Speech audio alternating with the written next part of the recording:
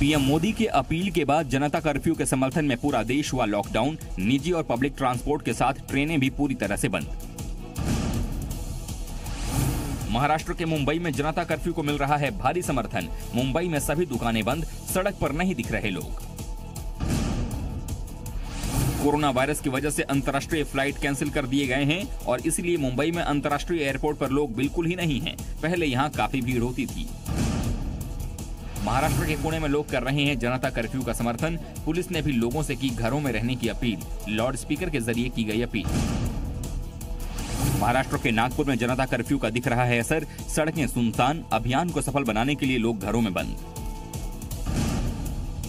तेलंगाना के हैदराबाद में भी दिख रहा है जनता कर्फ्यू का असर। लोग अपने घरों में रहकर हो रहे हैं बंद में शामिल।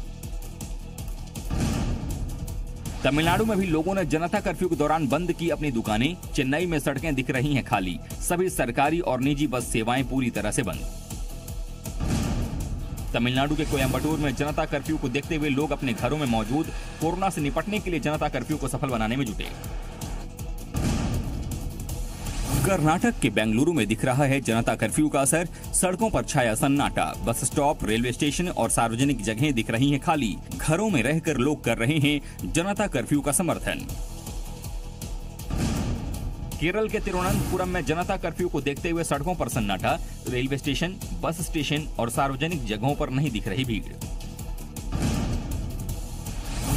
जम्मू कश्मीर के डोडा में भी जनता कर्फ्यू का समर्थन, पुलिस की लोगों से घरों में रहने की अपील, सड़कों पर दिखी गिनी चुनी कारें।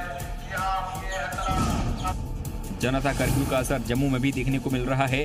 जनता कर्फ्यू को देखते हुए लोग घरों में और सड़कों पर केवल सुरक्षा अधिकारी दिख रहे हैं। दिल्ली में कोरोना पर पुलिस की अनोखी पहल, बाहर निकल रहे लोगों को फूल देकर घर जाने की दी सलाह। कोरोना वायरस को लेकर उत्तर प्रदेश की नोएडा अथॉरिटी सतर्क। नोएडा में कोरोना वायरस के पाँच पॉजिटिव मरीज़ मिलने के बाद पूरे शहर को सैनिटाइज करने का काम किया गया शुरू।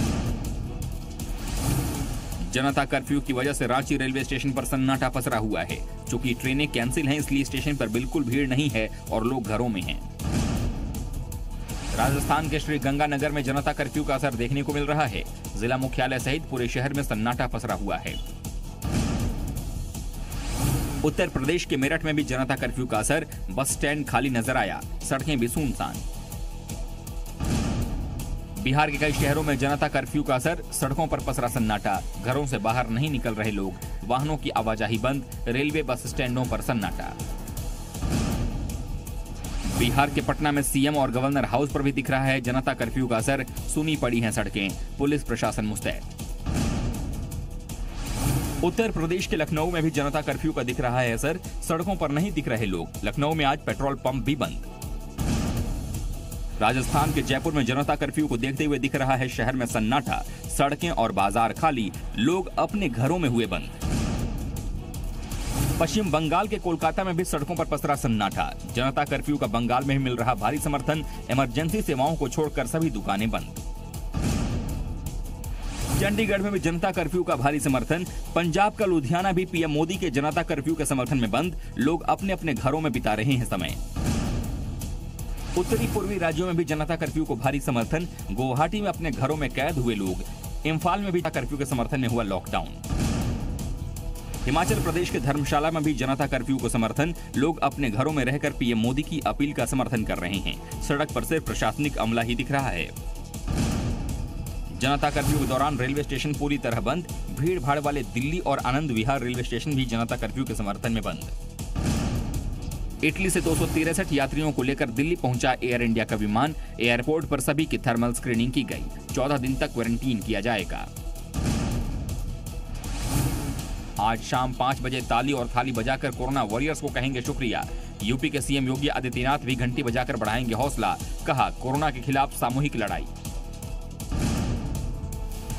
शाम पाँच बजे से पाँच मिनट तक कोरोना की लड़ाई में लगे डॉक्टरों, पुलिस वालों, मीडिया से जुड़े लोगों को दिया जाएगा धन्यवाद। पीएम ने की है लोगों से थाली ताली और घंटी बजाने की अपील। प्रधानमंत्री नरेंद्र मोदी ने लोगों से अपील की कि वे कोरोना वायरस से सावधान रहें और घबराएँ नहीं। पीएम ने ट्वीट कर कहा कि ये वक्त डॉक्टरों और प्रशासन की सलाह मानने का है। प्रधानमंत्री नरेंद्र मोदी ने फार्मा कंपनियों के प्रतिनिधियों के साथ की वीडियो कॉन्फ्रेंसिंग, प्रोडक्शन बढ़ाने, दुकान तक ज़रूरी दवा पहुँचाने को कहा।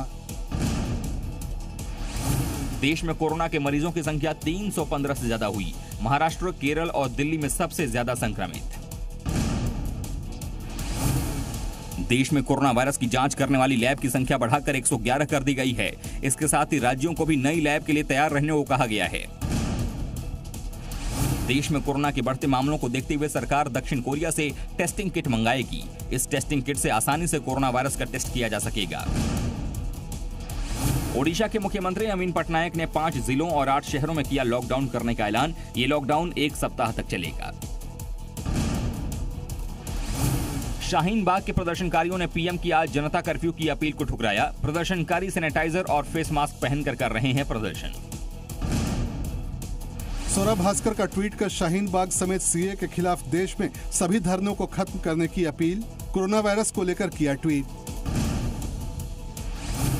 बाबरी मस्जिद के पक्षकार रहे इकबाल अंसारी ने शाहीन बाग प्रदर्शनकारियों के रवैये पर उठाए सवाल। कहा, कोरोना से पूरी दुनिया संकट में है। इसके बावजूद कुछ लोग भीड़ में हो रहे हैं शामिल। शाहीन बाग में पिछले चार महीने से चल रहे सीएए विरोधी प्रदर्शन पर सुप्रीम कोर्ट में सोमवार को सुनवाई होगी। याचिकाकर्ता ने कोरोना को देखते हुए प्रदर्शनकारियों को वहाँ से हटाने की मांग की। संजय गांधी पीजीआई में भर्ती कनिका पर निदेशक डॉक्टर धीमान का आरोप, इलाज में नहीं कर रही हैं सहयोग, पेशेंट की जगह स्टार जैसा कर रही हैं व्यवहार, सर्वश्रेष्ठ सुविधाएँ दी गई हैं। कोरोना वायरस के संक्रमण के बीच हरियाणा के गुरुग्राम से अच्छी और राहत भरी खबर। मेदांता अस्पताल में कोरोना पीड़ित 14 विदेशी मरीजों में से 13 ठीक, सभी हैं इटली के रहने वाले। मद्रास हाईकोर्ट के जज जस्टिस एस एम सुब्रमण्यम ने अपना एक महीने का वेतन सीएम रिलीफ फंड में दान देने का किया ऐलान। कोरोना वायरस से प्रभावित असंगठित क्षेत्र के मजदूरों की मदद के लिए पहल। कोरोना को देखते हुए बिहार के पटना के पावापुरी का जैन मंदिर बंद कर दिया गया। इसके अलावा मंदिर को सैनिटाइज किया गया। 31 मार्च तक बंद रहेगा मंदिर।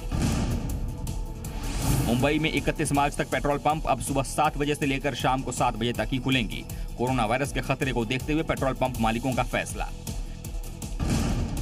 महाराष्ट्र के नासिक में कोरोना वायरस के मद्देनजर जारी किए गए आदेशों का उल्लंघन करने पर पुलिस ने 37 लोगों के खिलाफ केस दर्ज किया। इनमें से 35 केस गैर कानूनी तरीके से इकट्ठा होने और दो अफवाह फैलाने से जुड़े मामले हैं।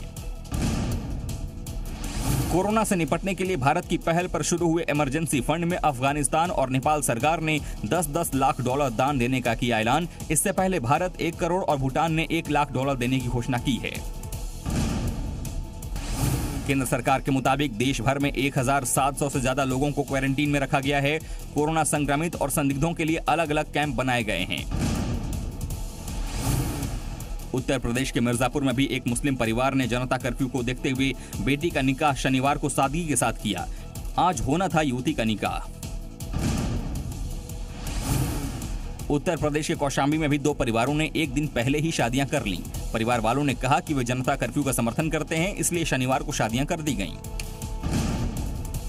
मध्य प्रदेश में नई सरकार की गठन की तैयारियाँ तेज, कल हो सकती है बीजेपी विधायक दल की बैठक। 24 मार्च को सरकार बनाने का दावा पेश कर सकती है बीजेपी 25 मार्च को हो सकता है शपथ ग्रहण। मध्य प्रदेश के भोपाल में सिंधिया समर्थक नेताओं ने शिवराज सिंह चौहान से की मुलाकात। बीजेपी पर जताया भरोसा, कमलनाथ सरकार पर लगाया आरोप, बोले, नहीं हो पा रहे थे विकास कार्य। कांग्रेस के पूर्व बागी विधायक बीजेपी में आए। बीजेपी अध्यक्ष जेपी नड्डा के घर पर सभी ने पार्टी की सदस्यता ग्रहण की। ज्योतिरादित्य सिंधिया ने किया ट्वीट। कांग्रेस से बीजेपी में आने वाले सभी 22 विधायकों को मिलेगा टिकट। हर एक के सम्मान की रक्षा होगी। छत्तीसगढ़ के सुकमा में नक्सलियों के साथ मुठभेड़ में 14 पुलिस वाले जख्मी 13 लापता बुलेट प्रूफ जैकेट पहने 300 नक्सलियों ने किया हमला। छत्तीसगढ़ के गरियाबंद के सूपे बेड़ा में किडनी के एक और मरीज़ की मौत। करीब छह महीने से डीकेएस अस्पताल में चल रहा था इलाज। कोरोना अलर्ट की भेंट चढ़े आज़म खान के भी मुकदमे। अब 30 मार्च के बाद होगी सुनवाई। रामपुर कोर्ट हुआ बंद। सिर्फ़ अर्जेंट मामले सुने जाएँगे। तेलंगाना के मुल्लुका ज़िले के वेंकटापुरा में मजदूरों को लेकर जा रहा ट्रैक्टर पलटा। हादसे में दो मजदूरों की मौत। दस मजदूर गंभीर रूप से घायल।